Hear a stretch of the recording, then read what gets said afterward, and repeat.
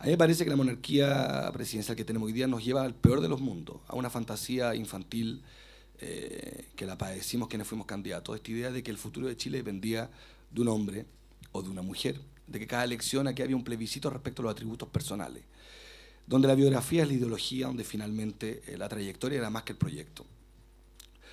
Una monarquía presidencial que tiene todo tipo de excesos, por ejemplo, en materia legislativa, no solamente en el manejo de la urgencia del ritmo legislativo, sino también en materia de iniciativa. El Parlamento, que es completamente precarizado, tiene hoy día eh, prohibido, como saben ustedes, proponer mociones que afecten o el presupuesto afecten la institucionalidad. O sea, no le puedes asignar una función al Estado.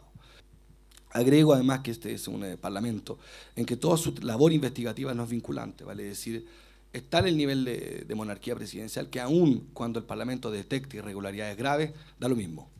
Esa comisión investigadora queda en eh, letra muerta.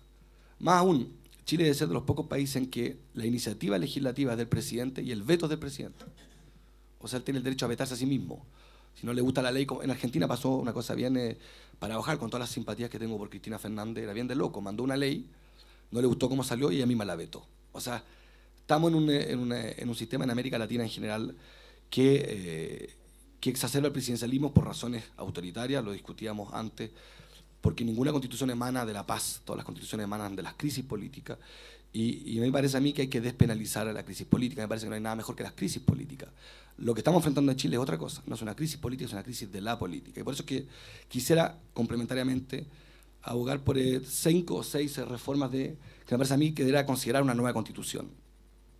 Pues bien, yo creo que partir primero por quitarle poder al presidente de la República y transformar al presidente de la República en un presidente árbitro en dos áreas, las relaciones internacionales y las, eh, la seguridad. En un segundo nivel, un primer ministro con mandatos claros respecto a los proyectos de largo plazo, que no tienen ninguna viabilidad en este sistema electoral, político, en general, de que se hagan. Pienso en la educación pública. Ningún gobierno va a enfrentar esa reforma porque tiene, tiene elección en cuatro años más. Sí, un primer ministro con un mandato nítido, con confianza parlamentaria.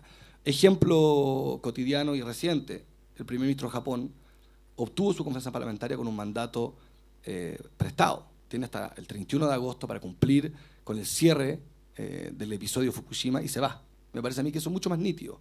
Eso construye confianzas entre la ciudadanía y su sistema político. Eh, todo el Estado central es unitario y en eso es extremadamente colonial. Creo que una nueva constitución deberá abordar la posibilidad de un Estado federal, por varias razones.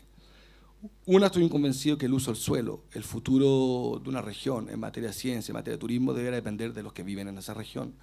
No pienso en policías propias, ni eh, pienso en un federalismo agudo, sino nosotros lo llamamos federalismo atenuado, que se parece quizás a la descentralización aguda francesa, donde los intendentes son electos por sufragio universal, donde las regiones tienen su propio parlamento, son consejeros electos por sufragio universal y tienen la posibilidad, por tanto, de que el uso del suelo, el uso del territorio se decida eh, en directo, o sea, por, eh, por, sufragio universal y directo. En un tercer nivel, el sistema electoral, y ahí quiero detenerme. A mí me parece que la discusión sobre el voto excepción automática y voto voluntario debe ser sistémica, no puede ser separado una reforma de otra. Por eso vuelvo. Moderar presidencialismo, federalismo, sistema electoral, vinculada a las tres. No se hace una reforma sin discutir lo otro.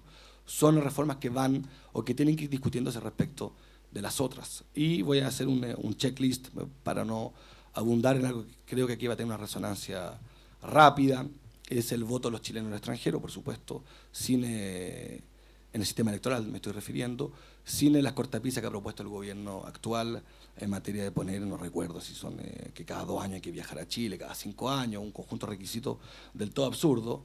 Yo soy un convencido que tenemos eh, una dificultad, por supuesto, una asimetría jurídica hace cientos de años con el pueblo mapuche que consiste en, eh, en relacionarse, relacionarse desde el paternalismo o el asistencialismo y sugiero avanzar hacia eh, la integración de los pueblos originarios al Parlamento chileno, como lo han hecho otros países de este mismo continente y buscar fórmulas en esos caminos ya recorridos. Eh, yo atiendo y escucho todos los argumentos eh, desde la izquierda y desde la derecha en contra de la inscripción automática de voto voluntario, aún así sigo creyendo que es el camino para recuperar, para exigirle más a la oferta, a los partidos políticos, a los políticos, una, una, una oferta política más contundente que cambie las reglas en el padrón electoral un conjunto de reformas que le devuelvan a la ciudadanía una participación más activa, referéndum revocatorio, iniciativa popular de ley. Soy más militante del referéndum revocatorio que la iniciativa popular de ley, que la creo más simbólica que efectiva, pero aún así creo que ese conjunto de herramientas pueden entregarle un músculo distinto al debate democrático.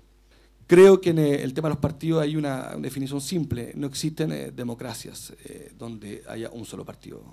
es consustancial la democracia que haya más de un partido político. Y creo que en eso es, es fundamental reconocer el rol de los partidos, sobre la base, sí, de que creo que la mayor crisis de Chile es probablemente su sistema electoral y compañía, pero quizás la más dura de todas es la de los partidos políticos. Y ahí hay, eh, hay una legislación eh, que no se ha hecho y evidentemente hay un bloqueo, es simple, porque quienes tienen que hacerlo son los mismos partidos políticos, cuyo incentivo, sea por la ley electoral, sea por razones patrimoniales, es bajo. Y ha habido poca disposición a una verdadera reforma a los partidos políticos. Más aún cuando ahora mismo estamos asistiendo a una ley eh, denominada antidisco, lo que consiste en eh, impedir el ingreso de nuevos partidos para el 2012 en la próxima contienda electoral, o más bien dificultárselo. Creo que lo está dando en Chile, eh, como dicen los más jóvenes, dando jugo. Es un sistema político que está topando con eh, un país que está exigiendo cada día más ser consultado respecto no solamente de su mayoría electoral, sino de su mayoría cotidiana. Y esa mayoría cotidiana tiene que tener un mecanismo de expresión. Las marchas para mí son la expresión de un grupo de chilenos que no se sienten representados ni por los medios ni por los partidos y que no ven en ninguna parte eh, la posibilidad de sentirse suficientemente representados y por tanto salen a marchar. Y eso tiene que eh, resolverse desde la política en el sistema político.